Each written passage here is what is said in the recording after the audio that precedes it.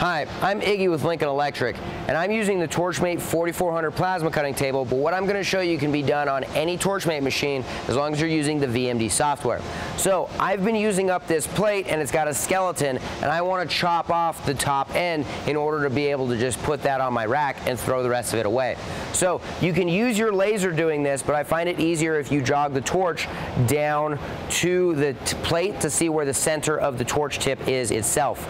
So if you bring your Z axis down and then jog the torch all the way to one end and make sure you're just off of the material.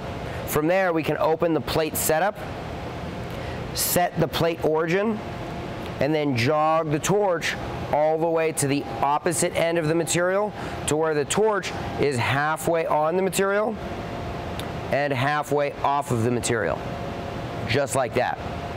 From here, I can go ahead and load a job. So go to select job, scroll down until you find the RIP job. Go ahead and press OK. From there, you will set the feed rate to whatever material thickness that you're using. Make sure you're in active run.